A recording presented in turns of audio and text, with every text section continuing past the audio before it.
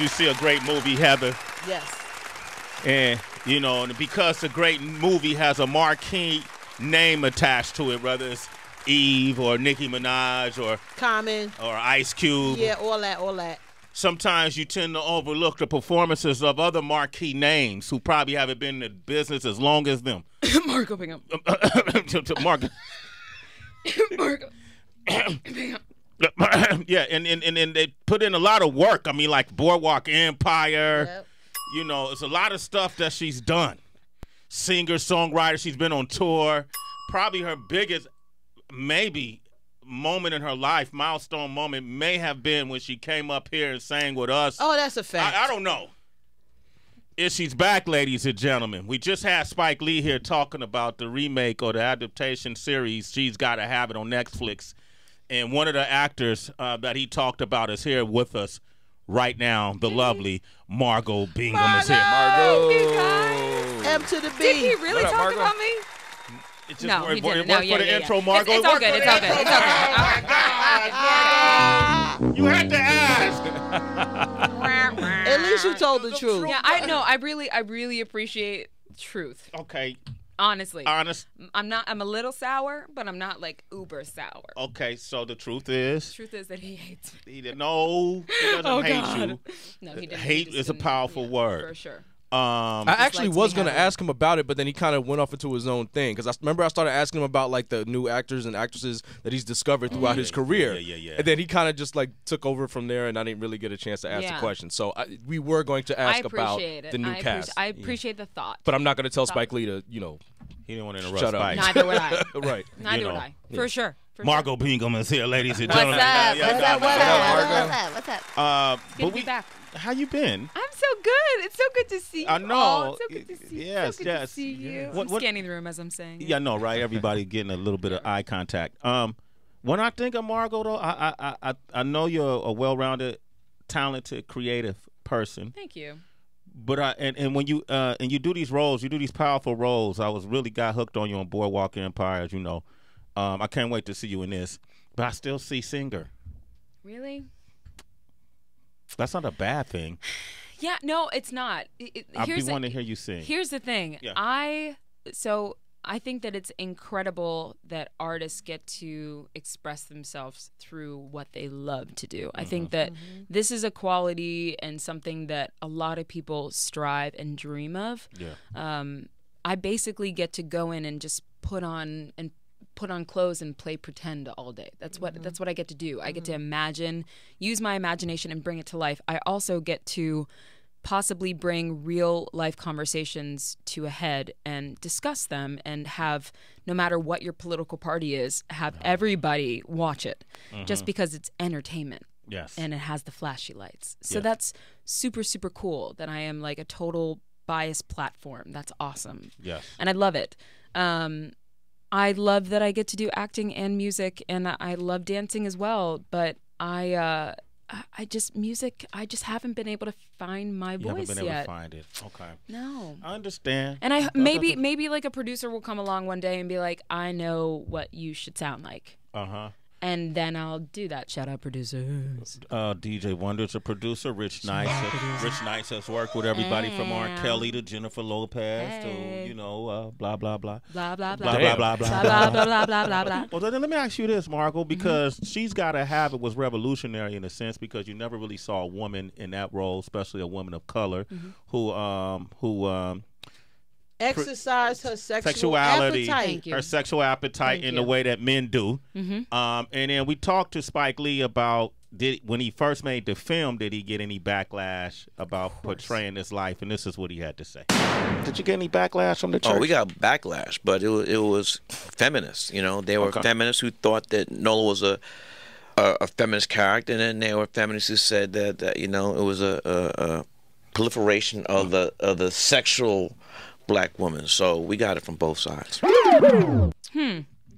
How, how much Mm-hmm. can you identify with uh, the the Noah char- Nola Darling character I think that there's a- as myself or as Clorinda as my character. as yourself? as myself, I can definitely identify with her.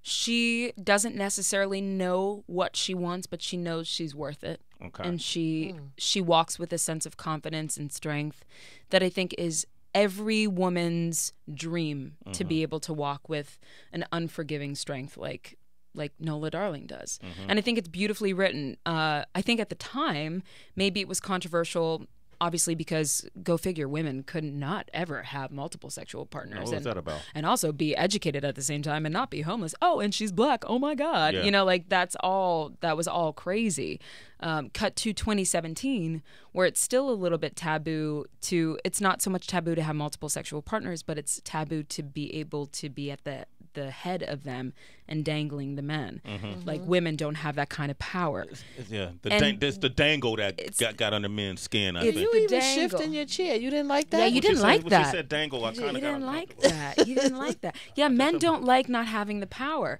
and it's crazy that uh, that women really do. Like- women women really do have that kind of power, and it's it's crazy that most women don't realize that they do. So that's that is what I really love about Nola Darling because she kind of she evokes that power out of me, and she makes me realize that yeah, I could do that. I'm worth that. I like that. Margot Bingham is here. You like that, Heather B? I love it. I already told you. Yeah, let's evoke that strength, Listen, girl. evoke that strength. I'll, Let's I'll, evoke that I'll be strength. dangled. Okay, I'm okay with it. I'll be dangled. Submit, Now, now, Submit. yeah. Surely, I'll be dangled. now he's relaxed. in, in- in the series, you you and, and the rest of Nola's friends that are in her inner circle, they Mm-hmm. kind of question like, how do you do this, and is this cool? And there's there's all these questions that arise. I mean, would you ever consider doing this actually in in your own personal life, like dating multiple men at the same time? Absolutely. I think uh, I think especially in New York, we're in like a hub where that happens all the time. I talk to friends all the time that they have a girlfriend or a boyfriend on the Lower East Side, Upper West Side, and then Brooklyn. You know, they hop around and nobody knows each other because they're all over the different boroughs. And it's okay as long as you're honest with people. You know, if you're if that's what you want to do, then God bless. That's what you that's what you want to do. I think as a, a role as the character Clorinda in the show, she was asking her that because she was so she's so buttoned up and she's so self-conscious a little bit you know she she lives vicariously through nola darling all of her artwork everything every ounce of her freedom she lives through her. So when she talks about her sexual partners she also lives through her you know it's like kikiing and it's very freeing and it's very mm. like it's very spicy and it's a life that she probably will never have the balls to live. Mm. So that's kind of cool. Margot's doing a great job at selling this, this series. oh my God! So he make it okay. I mean, it's Spike Lee. It's so it's so easy to sell it. You know what I mean? man, Like, put all kind of layers. like, just, Lady, go, go ahead, hoe. It's okay. You, it's, okay. Not whole- it's not uh, uh, hoeing. Is it? Uh, is Oh, it? okay, Is it? it hoeing for men to sleep yes, around? Yes. Okay. Okay. Mar- then it's hoeing. then we all hoes. So Margot, like that dumb shit, Sway. Like that? Who we fooling, y'all? We all hoeing. It's okay. We he oh, gotta have it. She's gotta have it. You gotta have it. We gotta have it. everyone's got to have We it. gotta have it. There's a song coming. So, Margot, this is one of my favorite movies from Spike Lee because it really Yeah. represents the fundamentals of Spike Lee's work in terms of being controversial, stirring national conversation. Uh, in, in current day and times, in sort of a Nola Darling and representing sexuality, we're having this national debate on what is a feminist and, and what is feminism, um, in particular when it comes to females expressing their sexuality. Uh, there's been some actresses who've come out and you know been topless on covers of magazines and said that is them invoking their feminism. what is your thoughts on that in terms of can sexuality in this day and age be a representation of feminism? I think sexuality can definitely be a representation of feminism. I think that the the most powerful thing about being a feminist is that you are in charge of your own feminism. Meaning, there is no definition on how to be a feminist. If that means that that's standing topless on a cover and that's how you feel empowered, that's great and and live your life. But if that means to me standing with a woman's march and marching, holding hands with my sisters, then that's that's fine too. You know, I, I think that sometimes things can get a little bit muddled and muddied uh, in our industry because we are on a platform. Um, I think that also the kind of platform that we're granted is not an everyday platform that everybody is granted. So you have to take it with a little bit of courage, and you also have to take it with a little bit of responsibility for a younger generation. If you want to be a feminist, you also have to realize that women under you and younger than you and another generation and multiple generations are watching every step that you do. So if mm-hmm. you're not embarrassed by what you do, that's fine, but stand for the little girls that are also watching you as well. Mm-hmm. But if you're embarrassed enough for those little girls, then you are not a feminist. Mm-hmm. Margot Bingham, ladies and gentlemen. Give out your social media, man. I think people just want to ask you questions. Liners, come at my liners. I got one liners for you all You day, one- one Sway. you? All Should- day. Should we throw a, bo- a Oh, beat on? All day. Oh my God. You know- didn't we do that last time? We did. She backed down real quick. Damn. Exercising her feminism to say no. All right, we're going to come back with some celebrity wire. How about that? If you want to talk to Margot, 888-742-3345. Yeah, we got to talk about our friend Russell Simmons. Shameful. It's time for Celebrity Wire on Sway in the Morning Oh God, here we go. on Shade 45. And we're joined by Margot Bingham, who's playing Clorinda um, Bradford, a new series she got to have it premiering November 23rd on Thanksgiving on Netflix. It's another Spike Lee joint. And she's here with us right now. Hey, You might have some. Ooh, you feel that beat? hey, Uh, hey, Just see if you got something like that. hey, Uh,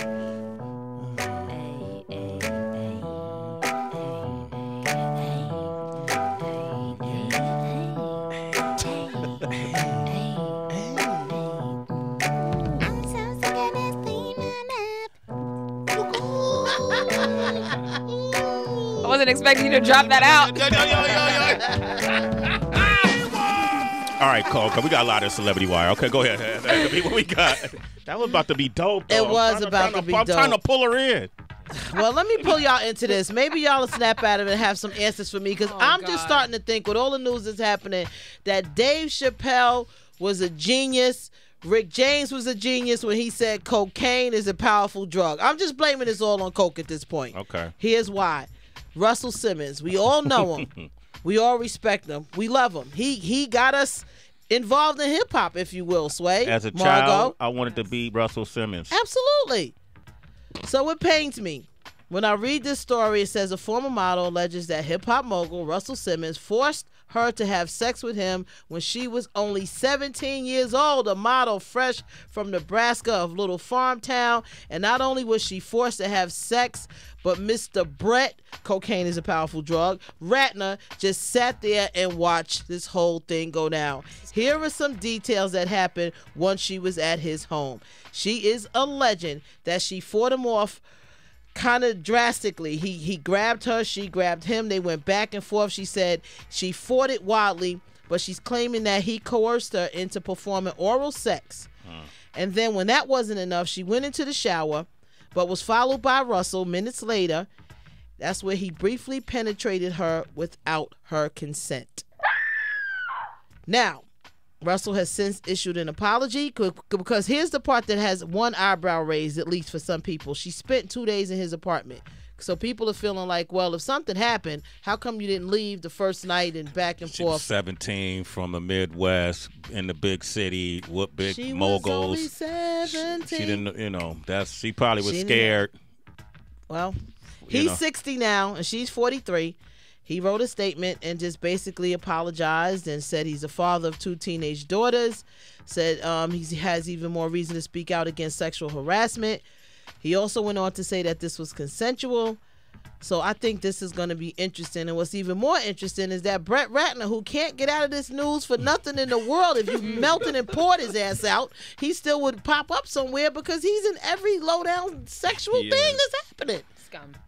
It- It's just been function. It's been like this for years, though. It's just all coming to the surface now. Margot, I'm sure. Have you had your? Have you ever been approached by somebody I inappropriately? Yeah, I have. How'd I have a couple do? times. Yeah.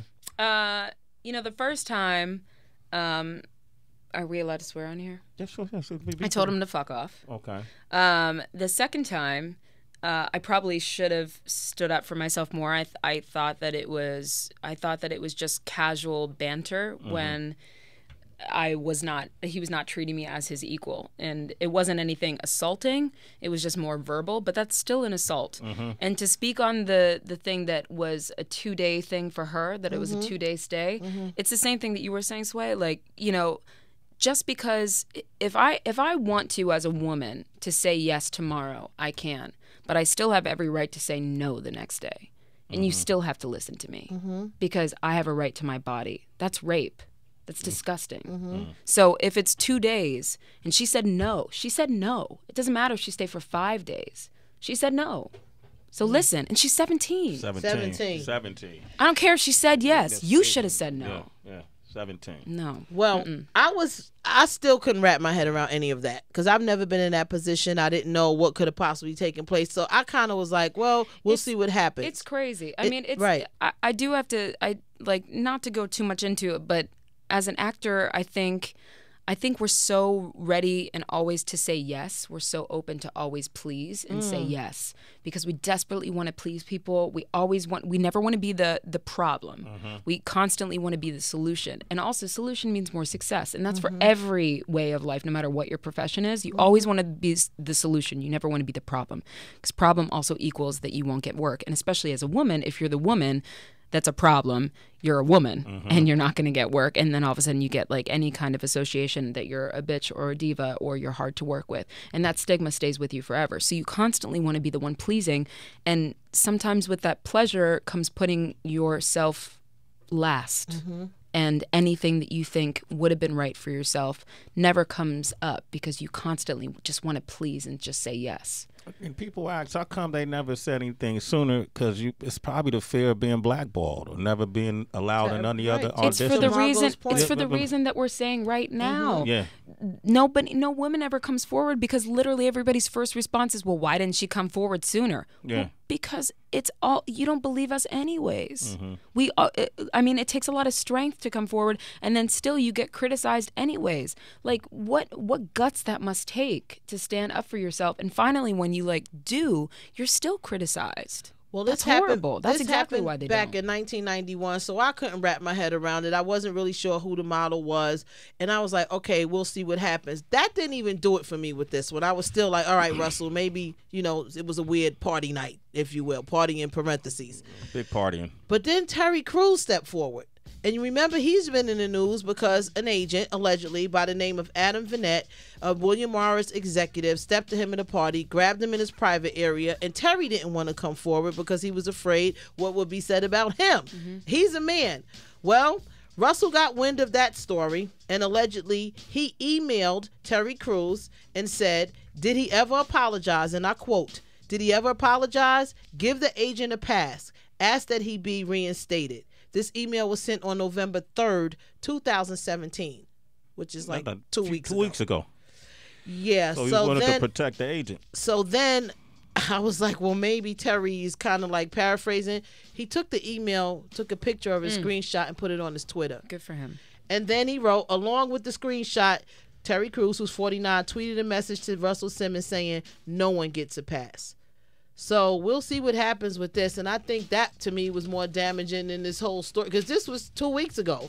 You know, um, the woman telling her story 1991, but this just happened. He tried to ask him to rep for the man.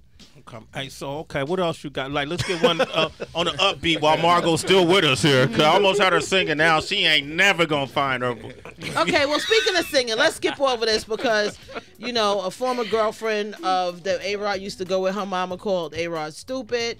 Uh, what else I got? Kim Kardashian fired a couple of people. Well, you, well, you ever have an ex uh, who who, who the Well, not Oh, Margot. This is Oh, good. God. too. Let me just No, tell no, no, Margot no, a little no, bit no, of it. Wait, wait, wait. Not only did his ex girlfriend's mama call him a moron, she said that um, he had no academic background, Margot. Oh, we couldn't have an intellectual conversation about anything. Oh, his main interest in life was something that none of us, she keeps putting herself in it, had ever focused on, which was baseball. Then she went on to add insult to injury and said, I wish J Lo all the luck in the world. Yeah. That's hard. Yeah, no, you ain't got to comment on that, Margot. Yeah, I think that says enough. yeah, yeah, yeah. I think that says Shayla. enough. Some stories just speak for themselves. I'm gonna give you a good one. Yeah. Go ahead. Congratulations to Diana Ross.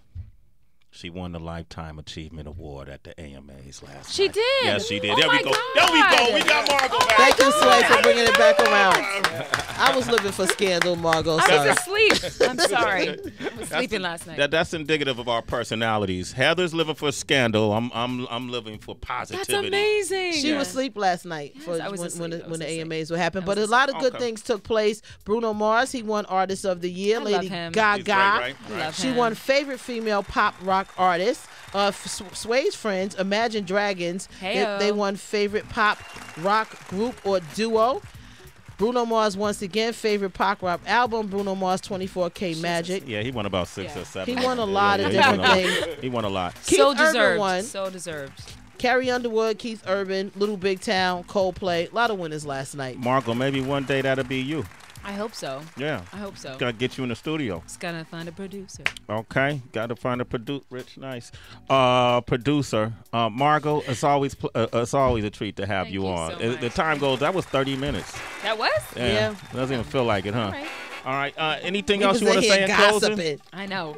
With Kiki. With and- Kiki and With Kiki in. So Yeah. you listen, listen for clarity. You're not going to sing for us this morning.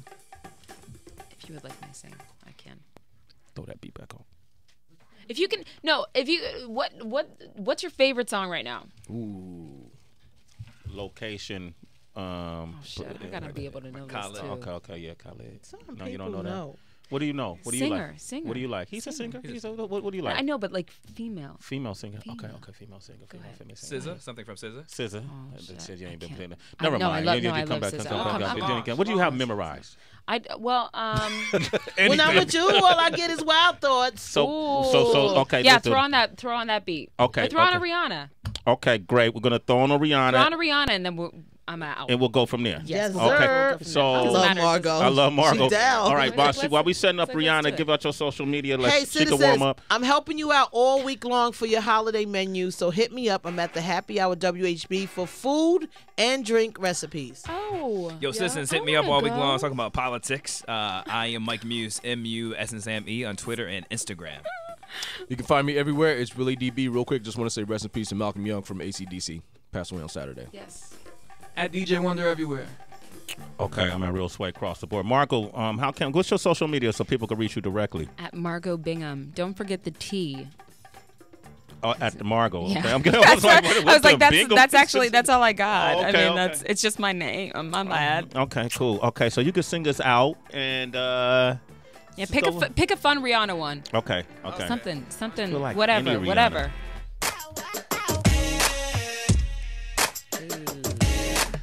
Don't know this one yet? Yeah, I, go, go, go. You got it? You got it? Yeah. All right. You got it. You got it. I Ready? got it, got it, got it. Call me rude boy, boy, can you get it up? Call me rude boy, boy, is it thick enough? Take it, take it, baby, baby,